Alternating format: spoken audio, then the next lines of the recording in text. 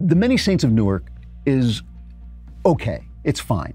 The problem with it is, is it's not The Sopranos. The Sopranos was a work of genius.